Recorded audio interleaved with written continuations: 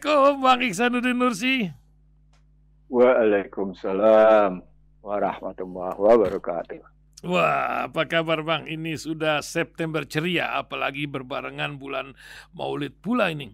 Tapi ada isu tentang gerakan G22 September. Mungkin Bang Iksanuddin Nursi bisa jelaskan lah sikit-sikit tadi itu. Karena orang pada bingung loh kok sehari-hari ini ada G22S apa pula ini. Sementara 40 hari ke depan Pak Presiden akan berada di IKN di tengah uang yang makin susah dicari katanya dalam berita terakhir kami itu disampaikan tentang uang beredar yang bah marilah ke surat utang negara lah ke mana-mana. Oh, luar biasa. Warisan utang kepada pra Prabowo pun nggak tanggung-tanggung. 800 8.500 triliun cing. Wassalam.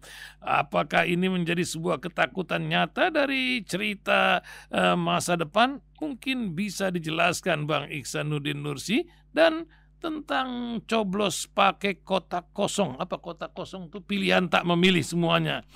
Apakah ini akan bergulir sebelum pemilu apa pilkada ini uh, ber, ber, berada?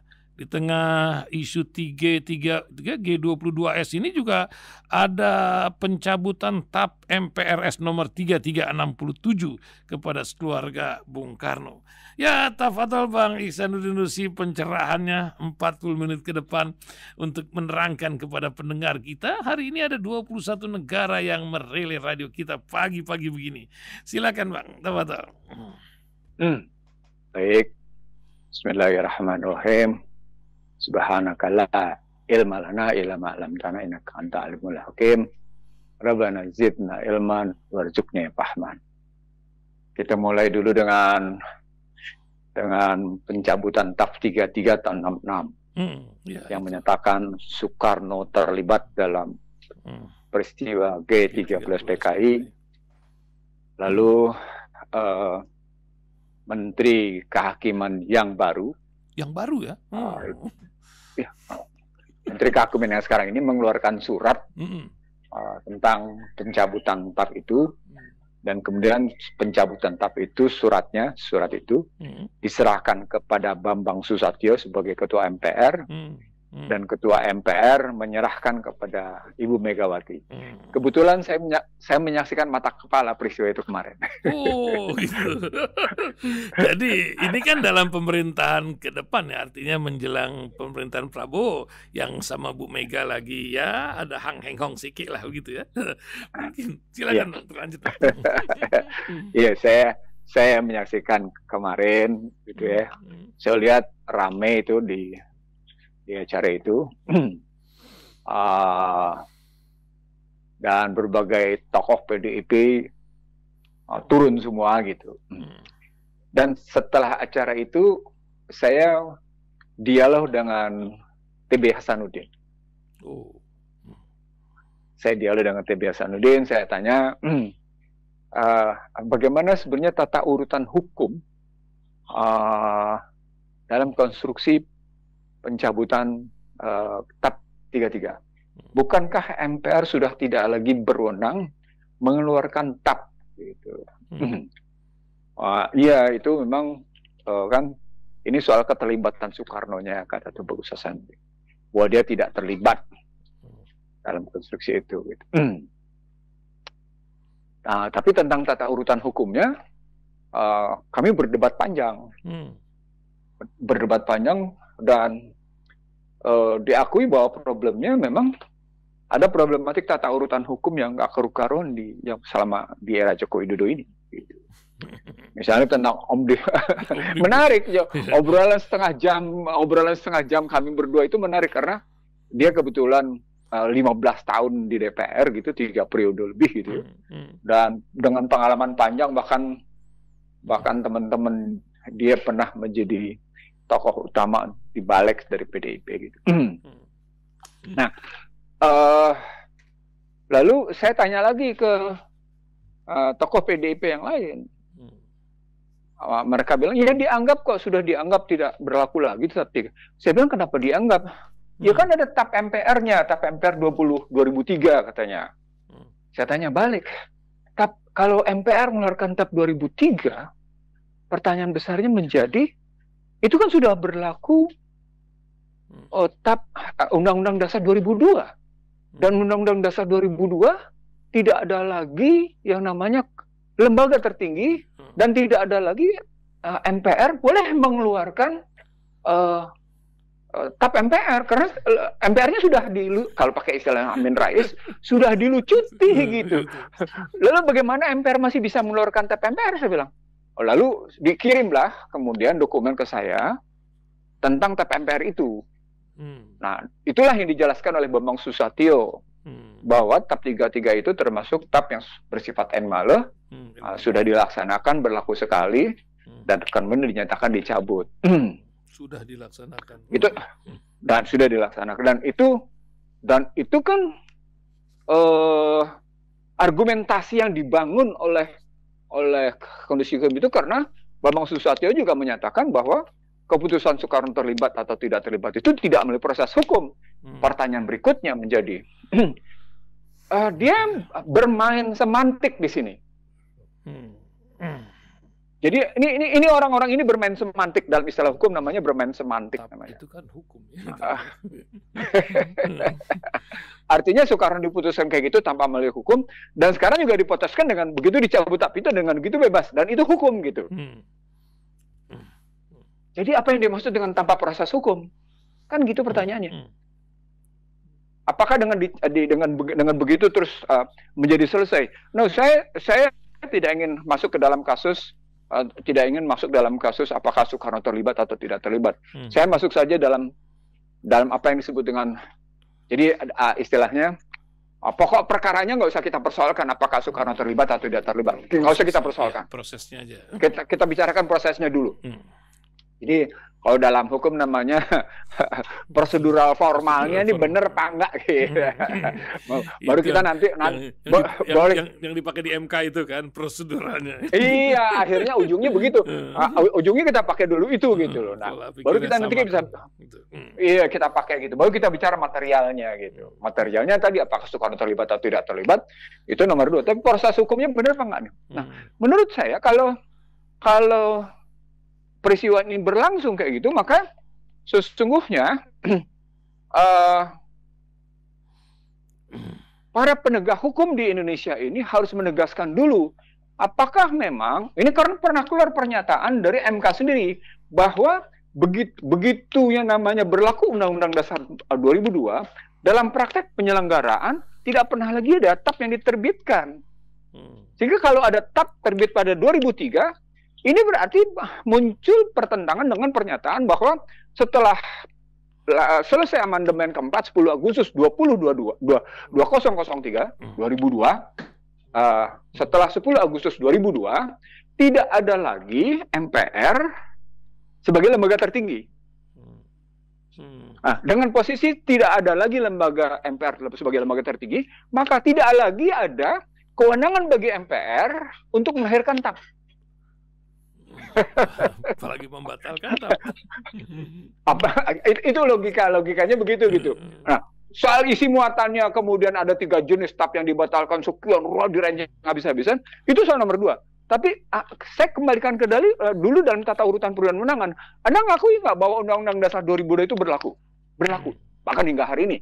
Hmm. dan kalau hingga hari ini berlaku sejak yang namanya 10 Agustus 2002 2002 maka sesungguhnya tidak ada lagi lembaga tertinggi negara dan karenanya tidak ada lagi lembaga yang boleh melahirkan TAP.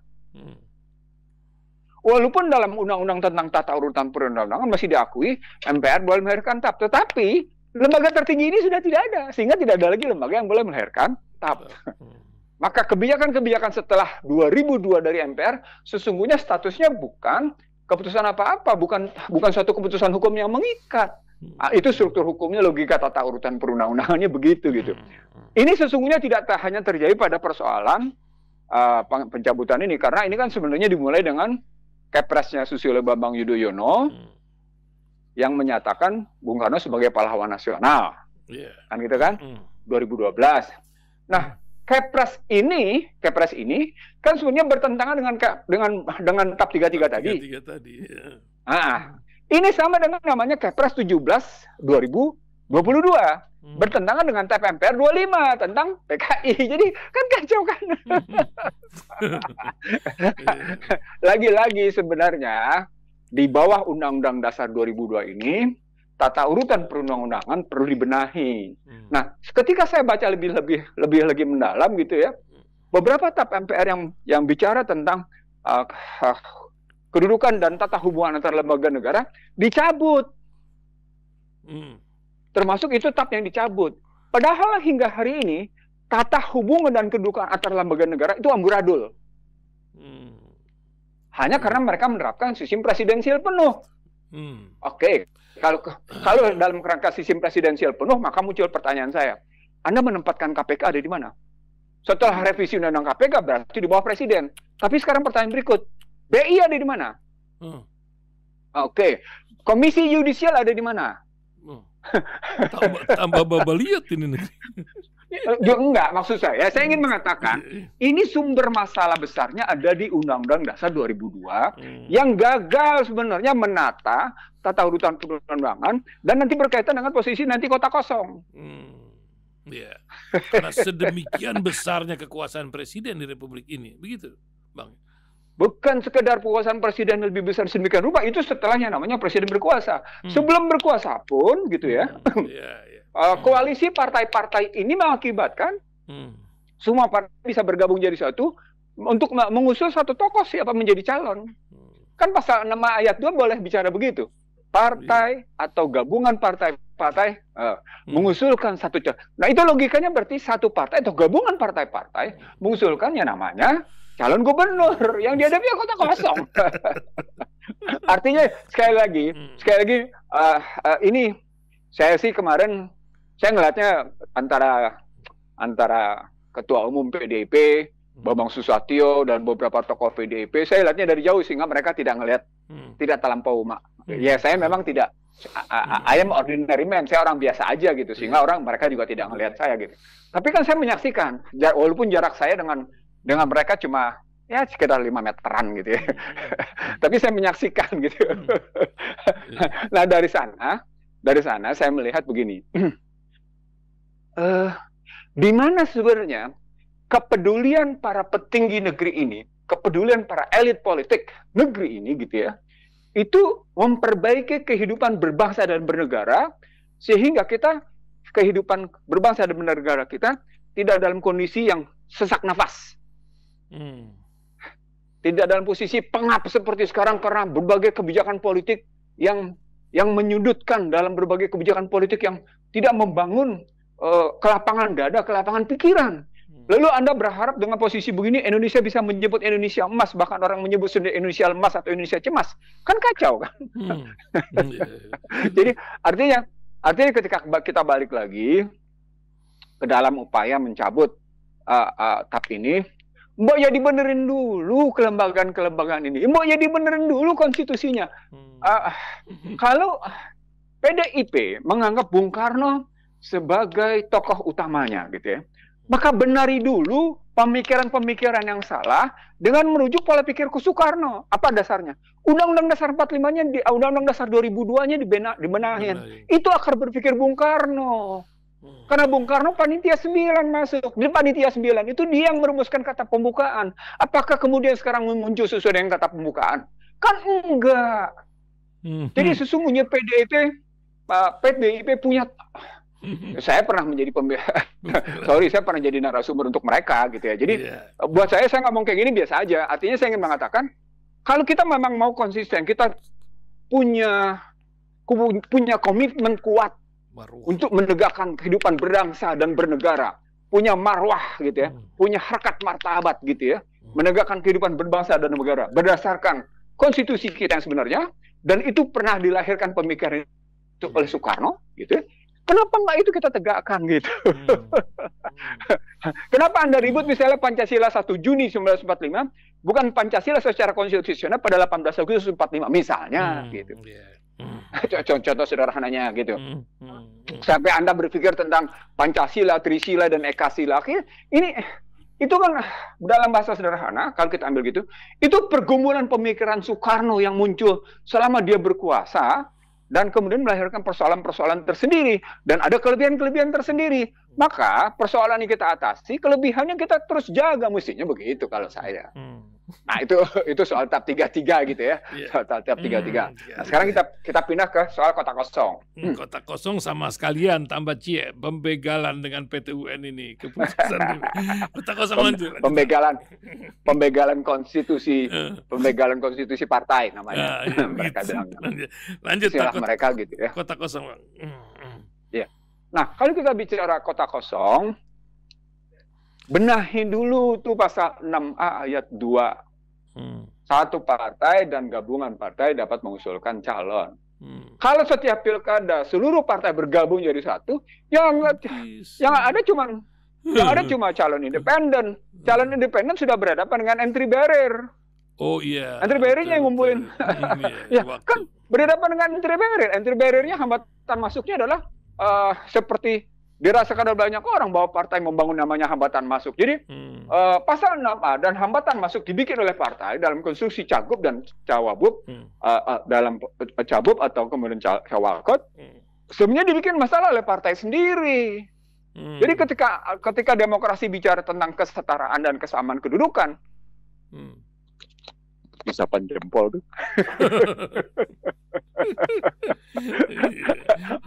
Ingat dulu tuh. Apalagi pengertian ya. pengertian hmm. apalagi hmm. apalagi uh, kalau kita baca misalnya pendapat Obama tentang the new beginning gitu ya, tentang demokrasi. Hmm. Itu kan Obama ngakuin atau kita lihat misalnya pernyataan William Bloom atau misalnya kita lihat uh, bagaimana pernyataan berbagai kalangan bahwa demokrasi merupakan proyek gitu. Hmm. Jadi artinya ketika kita balik ke kota kosong, problematiknya adalah pertama secara sistem gitu ya. Ini sesungguhnya tidak juga melahirkan eh, pilihan-pilihan uh, terbaik masyarakat. Buku Brahara Bangsa membuktikan bahwa makin tingginya biaya politik dalam pemilu, ulang, ulang, perhatikan nih. Ini, ini, ini temuan Ihsanuddin Nursi dalam Prahara Bangsa. Hmm. Makin tingginya biaya politik dalam pemilu, tidak punya hubungan relasi signifikan dengan makin baiknya rakyat mendapatkan pemimpin terbaik. Oh. bahkan hmm, ya, bahkan sebaliknya ya.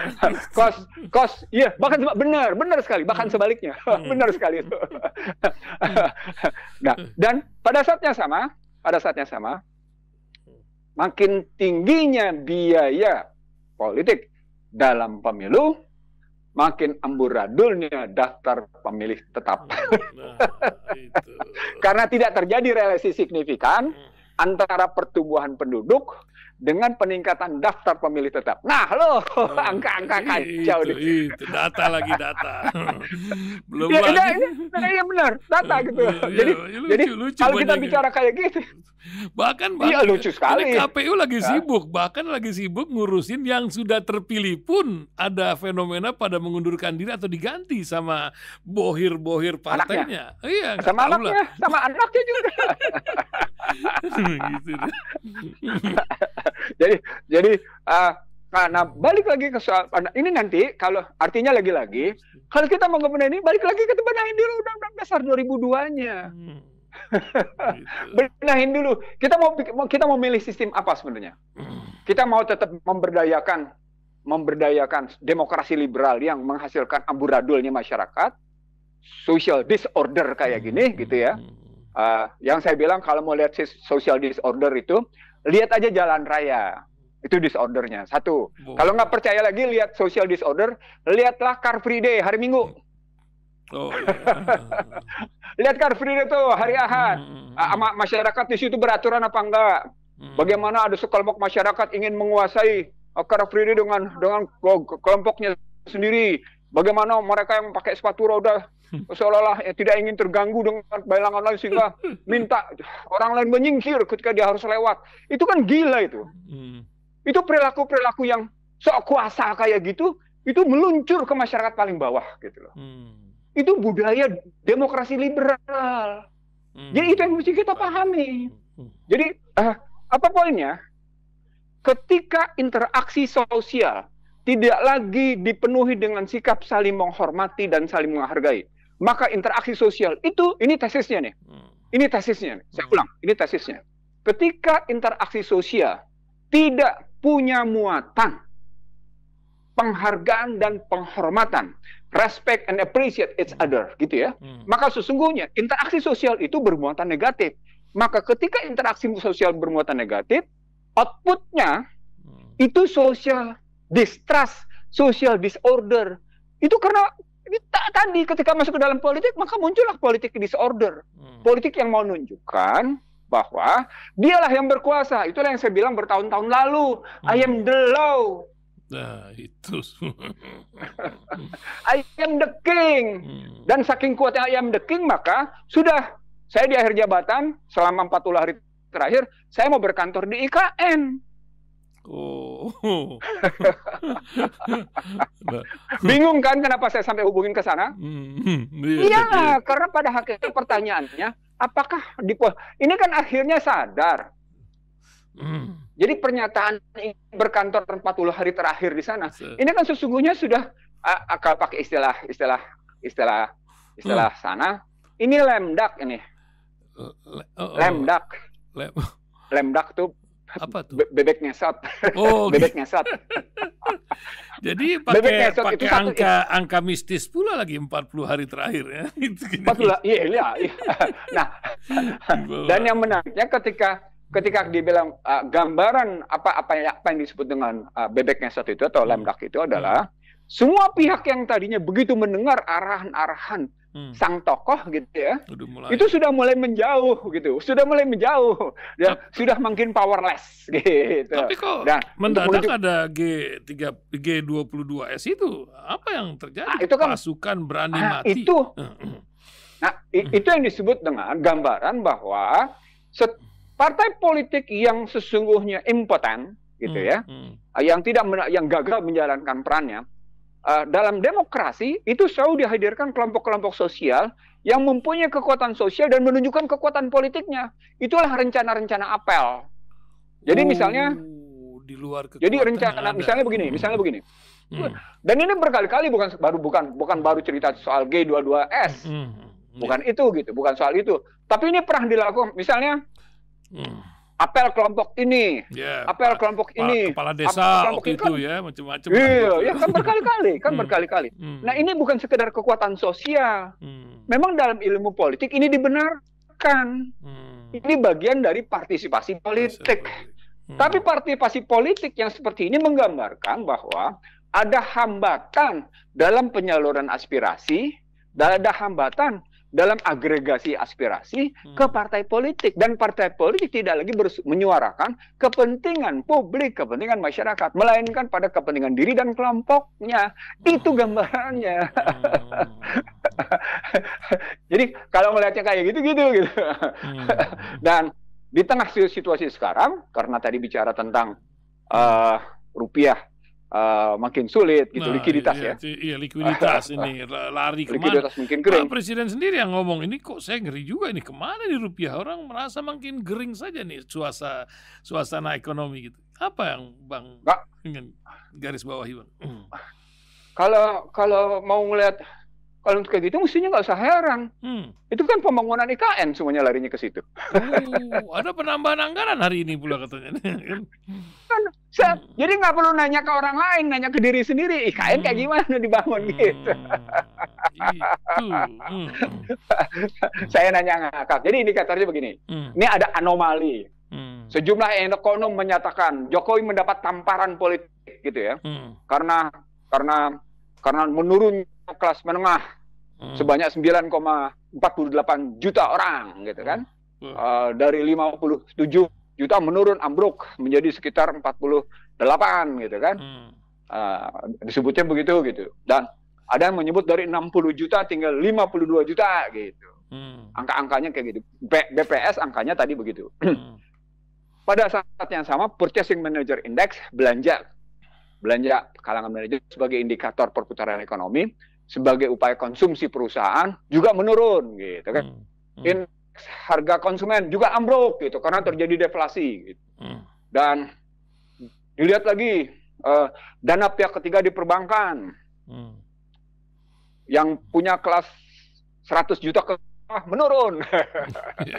Sementara yang punya kelas duit 2 miliar sampai 5 miliar ke atas menaik. hmm, hmm. Kan kita angka, angka-angkanya nunjukin gitu. Ini sih buat saya begini uh, pemirsa hmm. hasil TV, pendengar radio silaturahim. Angka-angka yang dimunculkan itu cuma gejala. Ibarat orang sakit masuk uh, uh, badannya meriang, uh, palanya pusing, ini gejalanya, maka mesti dicari sebabnya. Sebabnya bukan cuma sekedar salah makan, hmm. tapi harus dilihat dari gaya hidup. Kalau pakai kalau pakai pendekatan sistematis strukturalnya itu begitu gitu. Kita nggak bisa bilang nggak kita nggak bisa bilang wah ini masuk angin begini atau begini nggak bisa gitu. Ini oh ini ada salah makan maka dia oh nggak bisa nggak harus dilihat dari gaya hidup. Hmm. Jadi artinya kalau kalau pakai pendekatan Al-Quran ngelihatnya sistematik struktural maka pendekatannya pendekatan uh, pemeriksaannya itu tidak bisa pendekatan mekanistik gitu. Dan tidak bisa dengan pendekatan model uh, uh, uh, seketika model kejutan. Jadi model model model model kayak gini nih nggak bisa gejalanya. Padahal pada saat yang sama harus dilihat saat yang sama kondisi Indonesia rupiah menguat.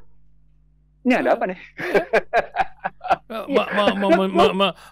apa, memberikan kesan di akhir-akhirnya ini bahwa penguatan rupiah luar biasa gitu. Nah, Iya, makanya kan berarti anomali. anomali kenapa betul. ekonom cuman kenapa yeah. ekonom banyak ekonom cuma sibuk soal hmm. soal tamparan terhadap Joko Widodo tapi rupiah menguat. Hmm. Hmm. Pada saat yang sama bicara tentang utang menjadi menjadi uh, 8.500 triliun hmm. yang saya bilang di dalam di dalam data mutakhir uh, Kementerian Keuangan sebenarnya 8338 ditambah dengan utang terakhir uh, sehingga terjadi penguatan rupiah, kan ada sesuatu yang salah.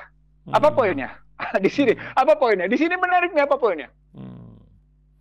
Poinnya korporasi bisa mendikte perekonomian. Itu kekuatan besarnya. Itu poinnya. Hmm. Itu yang itu yang tidak dilihat oleh banyak kalangan bahwa situasi sekarang dibuktikan oleh namanya korporasi bisa mendikte perekonomian. Saat yang sama, saat yang sama, mereka kotak-katik lagi soalnya namanya dana pensiun uh, tambahan yang diwajibkan. Hmm. Supaya pemerintah dapat lagi dana, dari iya. masyarakat, iya. diambil dari masyarakat. Hmm. Padahal pada saat yang sama, pemerintah tidak pernah menyelesaikan kasus-kasus perasuransian yang dikorupsi. Jiwasraya. Asabri, Wahana dan macam-macam. Coba gimana tuh? Mana larinya betul itu? Artinya sesungguhnya, sesungguhnya pola penyelesaian masalah kita sifatnya cuma mekanistik dan sesaat, tidak dilihat secara sistematis struktural. Hmm. Sama seperti soal pilkada, sama seperti soal pencabutan-pencabutan tap itu, sama seperti misalnya soal bagaimana uh, situasi keputusan MK MK 90 yang sesungguhnya membatalkan tentang pembenaran Gibran sebagai cawapres. Mestinya kan sampai kayak gitu sistematik hmm. struktural. Jadi hmm. ngelihat hukumnya itu tata, tata urutan hukumnya itu benar. Dan jangan melihat hukum sebagai keputusan penguasa, sebagai kehendak penguasa. Hukum itu harus dilihat sebagai kesepakatan masyarakat yang paling besar sehingga dia merupakan satu perjanjian suci di kalangan masyarakat. Itulah konstitusi yang punya derivasi gitu ya, hmm, hmm. yang punya urutan ke bawahnya, itu juga merupakan perjanjian yang isinya sebagai kemauan terbesar masyarakat. Apa poinnya? Demokrasi liberal itu tidak representatif untuk bicara ini karena sudah rusak, karena sudah cacat. Hmm. ya, apalagi dengan geopolitik dunia yang sekarang ini ya, wah tambah lagi babak belur kita kalau ikutin irama macam gini, macam tak punya marwah konstitusi sendiri gitu. Nah, kalau kelihat misalnya katakan uh, ribut tentang genosida, hmm. ribut tentang Ukraina, hmm. ribut tentang bagaimana tiba-tiba hmm. uh, Cina, Cina. Uh, menghalau kapal kapal uh, Filipina, Filipina dengan hmm. dengan water cannon hmm. di, di tengah laut menggunakan water cannon belum hmm. ditabrak masih hmm. menggunakan water cannon hmm. baru kemudian disewar habis-habisan ini kan hmm. jelas hmm. ada pergeseran ada pihak yang ingin mempertahankan posisi unilateral hmm Hmm. Lalu kemudian turun menjadi multilateral, lalu turun menjadi bilateral. Apa artinya? Artinya sesungguhnya dunia sedang mencari keseimbangan baru. Hmm. Dunia sedang mencari keseimbangan baru. Di Indonesia sudah sedang ikutan nih dalam situasi mencari. Cuma proses keseimbangan baru ini selalu melahirkan situasi ketidakenakan, bahkan menimbulkan korban. Sama seperti misalnya keseimbangan alam. Hmm. Baik itu melalui bencana atau melalui longsor, itu kan keseimbangan baru hmm. yang dicari. Yeah, yeah, alamnya nah, juga. keseimbangan baru itu hmm. ada proses yang memang menyingkirkan sehingga terjadi keseimbangan baru. Hmm. Ya kalau pakai bahasa mereka, rupiah sedang mencari keseimbangan baru. Ya keseimbangan baru dengan harga yang tinggi dan selalu tidak stabil, gitu loh. Jalan tol lagi cari keseimbangan baru, minggu depan bakal naik. iya, itu modelnya begitu, gitu loh. Hmm, hmm, jadi jadi ada ada sesuatu yang bermasalah. Apalagi kalau sudah Masya hmm. Allah. Hmm. Ini kalau ngejelasin tentang kenaikan harga-harga ini, hmm. ya kita berhenti dibodohin gitu loh. Oh. Ini kan ini kan ada sesuatu yang salah, sesuatu yang salah tadi hmm. karena tadi hak-hak publik diserahkan kepada hajat hidup segelintir orang untuk memenuhi hasrat serakahnya, untuk memenuhi hasrat ketidakjujurannya dalam mengelola hajat hidup orang banyak. kan gitu melihatnya. hmm. yeah. Jadi lagi-lagi kita sesungguhnya di berhadapan dengan uh, uh, ya saya pakai Azaria 1011 ya. Hmm. Kita kita berhadapan dengan situasi betapa masyarakat terbesar di Indonesia dan di dunia itu larut dalam kebodohan dan berani melawan kebenaran dan lalai dalam kebenaran. Uh. itu Omah lukiskannya seperti itu. Kenapa? Hmm. Karena karena hmm. kita sedang menikmati kedustaan. Nah, ingat kedustaan nih, Bang. Ini ada pendengar yeah. kasih pesan nih, Bang. Tuh Bang yeah. Iksanuddin Nursi kalau ngopi hati-hati di luar katanya melihat orang-orang vokal ini banyak yang mendahului kita. Mengenang seorang Faisal Basri yang dengan data seperti antum juga tapi perjalanannya ini menyebabkan negeri ini tambah sedih makin sedikit orang-orang yang kritis gitu. Apa hikmah dan yang Anda kenal dari seorang Faisal Basri almarhum? Saya berkali-kali di uh, seforum sama Faisal Basri. Hmm. Berkali-kali, bukan sekali, dua kali, tiga kali. Lebih hmm. dari jari tangan. Hmm. Saya terakhir seforum dengan Faisal Basri di ITB. Hmm. Di Sekolah Arsitektur. Hmm. Dan ke perencanaan kebijakan publik di, di, hmm. di ITB kita kami bicara tentang bagaimana pengelolaan sumber daya alam.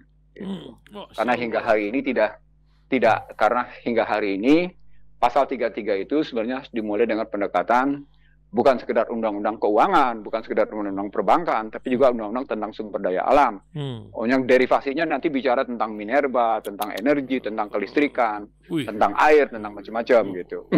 Masya Allah. Nah, hmm. dan top topik itu menarik karena uh, kita harus melihat apakah pendekatan sumber daya ini dalam pendekatan barat scarcity gitu ya hmm. yang langka gitu dan kemudian depletion hmm. dan memang depletion hmm. menipis habis gitu hmm. atau kita lihat pendekatan sumber daya alam ini dalam pendekatan bagaimana negara tidak mungkin hanya berperan sebagai regulator hmm. Nah itu di situ kami berbeda cara pandangnya Hmm. Saya menolak negara hanya berperan sebagai regulator. Faisal hmm. uh, setuju mengambil peranan hmm. negara memang. Walaupun kemudian dalam kajian berikutnya seperti hmm. seperti bicara tentang nikel, hmm. uh, bagaimana keterlibatan Bobby, Kaisang hmm. dan hmm. yang lain itu sebenarnya hmm. dalam forum saya terakhir dengan Faisal Basri di Badan Akuntabilitas Keuangan. Hmm. Saya ingat betul pada tanggal 10 Juli kemarin, saya hmm. seforum sama dia Uh, 10 Juli 2024 di Badan Akuntabilitas Keuangan Negara DPR. Hmm. Kami bicara tentang lagi lagi bicara tentang sumber daya alam. Hmm. Tapi untuk PNBP. Nah, hmm. Faisal kembali mengungkapkan tentang illegal mining dan illegal ekspor pada nikel. Hmm. Saya bilang kasus itu sebenarnya bermula dari kasus yang diungkapkan oleh hmm. Luhut bin Sarpanjaitan pada September 2023. Hmm. Cuma tidak menyebutkan nama. KPK kemudian masuk. Karena terjadi perbedaan data antara nah ini menarik di sini. Nah. antara angka ekspor dengan data biaya cukainya Cina, gitu. Iya. Nah, di situ masuk. Hmm. kemudian KPK masuk dari situ. Dan kemarin waktu saya bicara di forum Badan Akuntabilitas Keuangan itu KPK masih menyatakan masih dalam proses penyidikan belum selesai, hmm. gitu. Masih dalam posisi tunggu selesai aja. Uh, Jadi saya ya sama seperti soal pemeriksaan Kaisang sehingga hmm. Abraham Samad marah-marah. Sini hmm. saya ajarin katanya. Abraham Samad kan ngomongnya gitu. Iya, iya, iya. Sini saya kasih tahu gitu. Artinya itu karena memang revisi Undang-Undang KPK menempatkan KPK di bawah kekuasaan presiden. Hmm. KPK tidak lagi independen. Nah sekarang pernyataannya bingungnya kita menjadi lagi-lagi dalam tata kedudukan hmm. antar lembaga negara hmm. dan dalam tata urutan perundang-undangan sebenarnya keputusan-keputusan lembaga ini dalam tata urutannya kayak gimana? Oh, Memang apa? ada tata urutannya dibikin undang-undang gitu loh. Hmm, itu main rebut-rebutan kasus kita, ini. Iya jadi nggak karu-karuan gitu hmm. posisinya. Nah lagi-lagi ini sebenarnya bagian dari desepsi. Hmm, nah desepsi tercipta karena hmm. uh, iya uh, desepsi tercipta baik karena keadaan maupun karena memang hasrat yang bersangkutan melakukan desepsi. Hmm. Tapi ini cerita lama, cerita hmm. di mana dilakukan oleh satu bangsa hmm. yang masuk dalam kategori Ya bani Israel guru nimati yallati yanamtu alaikum wa ani fadaltukum lil alamin itu selalu melakukan itu. Oh, ah, itu yang disebut dengan dalam itu dalam keilmuan ini namanya desepsi. Hmm. dalam Al-Qur'an ah, itu disebutkan bagaimana karakter-karakter itu hmm. dan itu kemudian ditiru di Indonesia. Hmm. ditiru di Indonesia jadilah begitu hmm. gitu melihatnya. Nah, jadi artinya problem kita bukan sekedar problem pada kacaunya tata urutan perundang-undangan, problem kacaunya kedudukan hubungan antar lembaga negara, problem kacaunya perilaku kekuasaan politik dan oligarki, problem bagaimana korporasi makin mampu mendesak sehingga akhirnya uh, bisa menihilkan atau mengurangi habis-habisan pendapatan masyarakat itu yang saya sebut sebagai pemiskinan struktural hmm. gitu ya tapi ada satu masalah besar di dalam negeri ini Apa, Bang? masalah besarnya adalah gitu ya sampai seberapa jauh anda sesungguhnya ini saya saya nyatakan ketika saya menjadi saksi ahli Bank Senturi hmm. uh. di DPR, gitu ya. Hmm. Jadi 2010 nih sampai akhirnya saya di, dihajar habis, dibunuh nama baik saya oleh satu oh, kekuatan itu. tertentu. Hmm. Hmm. Ya, hmm. saya dibunuh di situ nama baik saya uh, oleh kekuatan itu. saya cuma mengajukan pertanyaan sederhana. Di mana posisi sumpah jabatan bagi presiden? Di mana oh. posisi sumpah jabatan bagi yang namanya para menteri? Hmm, hmm, hmm. Walaupun saya buktikan ber, uh, ketidakkonsistenan Budiono, ketidakkonsistenan Sri Mulyani, ketidakkonsistenan KKSK dan yang kemudian mereka menyebut saya sebagai itu bukan Ihsanuddin Nursi, itu Ihsanuddin Noisi. Noisi. ya, karena dalam rapat tertutup itu jelas-jelas disebut ha, hanya saya yang nggak yang nggak bisa di approach kata mereka. Hmm. Iya hmm. makanya dia bukan Iksanuddin Nursi itu Iksanuddin Noisi katanya. 8.40 menit bang. Lanjut lagi okay. sebagai penutup. Baik. Hmm. Sebagai penutup. Yeah. Iya. Uh, kita akan terus menerus menghadapi berbagai masalah. Hmm. Sepanjang hidup kita memang menciptakan masalah. Hmm. Tidak berkontribusi menyelesaikan masalah. Itulah pentingnya kuda linas, hudalil mutakin. Ini keyword ini. Hmm. Sepanjang Anda hidup tanpa berpedoman pada Al-Quran, selama itu hidup selalu yang tercipta adalah masalah. Hmm. Dan tidak ada jalan keluarnya. Itulah makna bahwa hidup ini memerlukan petunjuk. Hmm. Hudalil nas. Wabainat minal huda wal furqan. Hudalil mutakin. Jadi bukan hanya petunjuk bagi yang namanya kaum kaum kaum takwa bertakwa, hmm. tapi juga petunjuk bagi manusia. Nah, kalau bagi manusia uh, uh, itu digunakan lurus dengan isinya, maka dia tidak akan saling memusuhi, dia tidak akan saling membunuh, dia tidak akan saling mengusir, dia tidak akan saling menihilkan, dia tidak akan saling memiskinkan, gitu. Hmm. Jadi selama kita menggunakan petunjuk kehidupan di luar itu, ya sudah kita akan selalu hidup dalam jadi jangan bilang akan harmonisasi kehidupan, harmonisasi keuangan, harmonisasi politik. Oh, jangan ngomong begitu. Wong Anda sedang menerapkan sesuatu yang disharmonis kok. Gimana sih? Oh.